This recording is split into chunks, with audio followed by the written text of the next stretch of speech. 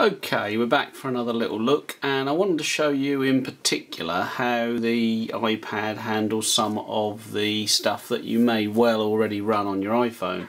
So I'm going to start off just by showing you um, the, let me just turn this around so we can do this, it's one of the benefits of the uh, 360 as I'm, as I'm calling it. And let me just show you this. Um, exactly the same. First press takes you back to the home screen and then the second press takes you back to there. So we can type anything we want in there and find it for when the screens are, getting full.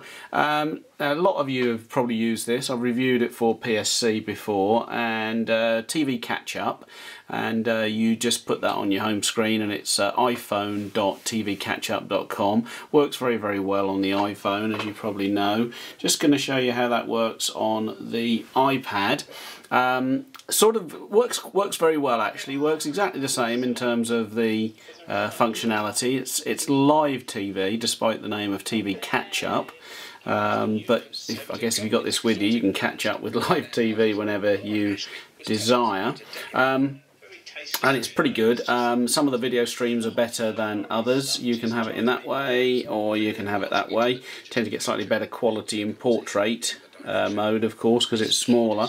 That particular stream that I chose there is in fact very good. Um, some of the others haven't been as good that I've been playing with this afternoon. Let me just go back and uh, do that for you. Uh, BBC One for example, um, which should be the one show I guess.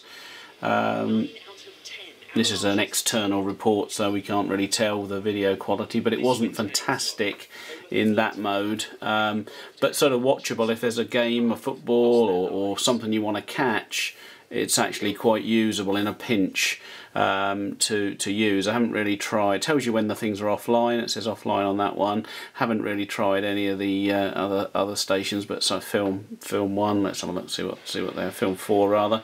Um, see what the quality's like on that. Rather dark picture, I'm afraid. Um, probably watchable in a pinch, I guess, but not fantastic. Um, but for catching up, for example, with something like BBC News while you're out and about, uh, very good, very strong.